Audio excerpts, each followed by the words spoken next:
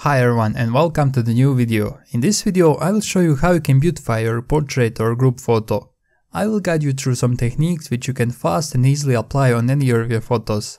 This includes removing blemishes, softening and color improvements of your skin. We will learn a lot of things which we will put in practice later in our project. So we will start with this photo. First we will remove some blemishes and imperfections here on the face. After that we are going to soften the whole skin and also improve the color a little bit. So let's go as always and duplicate this layer. Click on OK. Now zoom it. Choose spot healing brush tool and remove it, those little blemishes. Okay.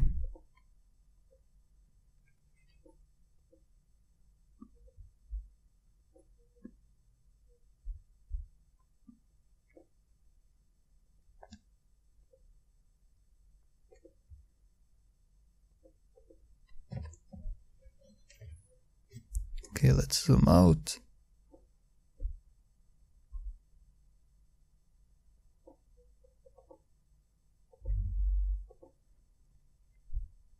Okay, I think that's it.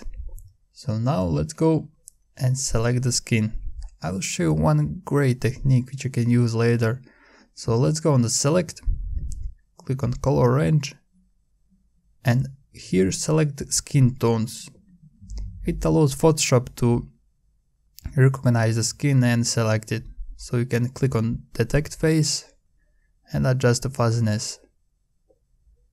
Okay, it will be good. Click on OK.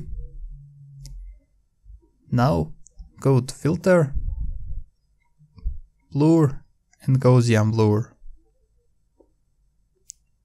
Okay, that will this uh, this option will blur the selection and now we will choose. You can see now how it blurs. So I will choose maybe about 4 pixels. Ok and click ok. Now click on Ctrl D to deselect. As you can see we smoothen it a little bit. Okay now we need to create a mask on this layer. Choose brush tool, black color and go over some parts of the face that don't need to be smoothed. So for example this area, also her lips.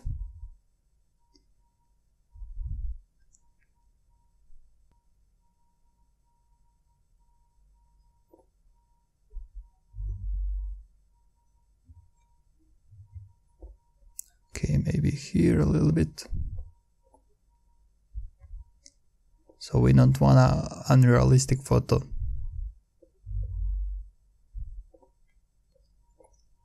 Okay.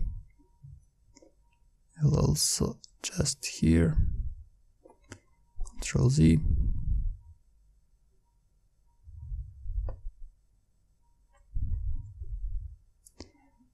Okay, that's pretty now let's see before and after.